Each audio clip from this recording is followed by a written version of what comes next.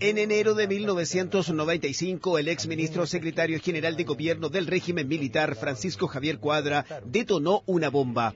En declaraciones a la revista Que pasa, el ex vocero de la dictadura aseguraba que en el Congreso había parlamentarios que consumían drogas. Dos meses después, la entonces diputada Evelyn Matei apoyaba las declaraciones de Cuadra. Esta historia ha revivido por estos días. El diputado Juan Carlos Latorre, uno de los legisladores cuestionados en la época, dice que hubo un montaje en el caso drogas y la actual candidata de la UDI debe asumir su responsabilidad.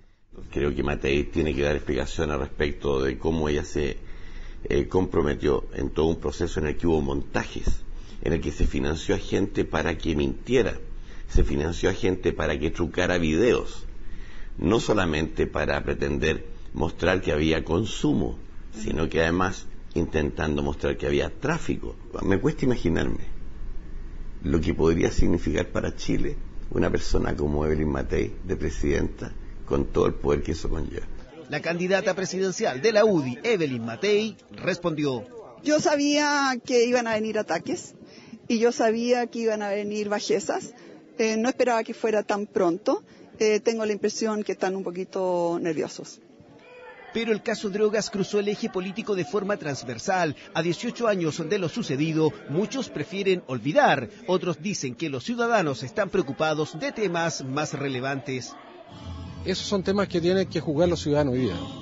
A mí me interesa más que la política sucia de las descalificaciones, porque creo que eso entierra y mata el debate. Mira, todos tenemos ah, una, una historia, y, pero algunos esconden esa parte de la, de la historia.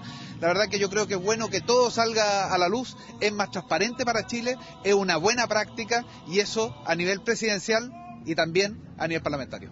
Hay en el derecho una institución que es muy sabia, que es la prescripción. Todo en el tiempo se olvida.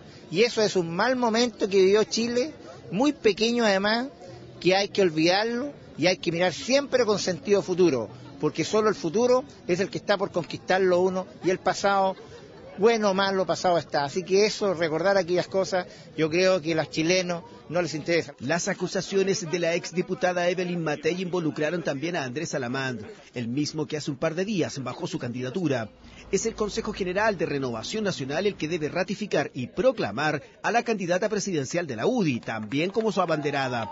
Sin embargo, en el partido de calle Antonio Varas dicen no olvidar los episodios que han afectado a sus militantes y ese consejo en los próximos días podría dar una sorpresa.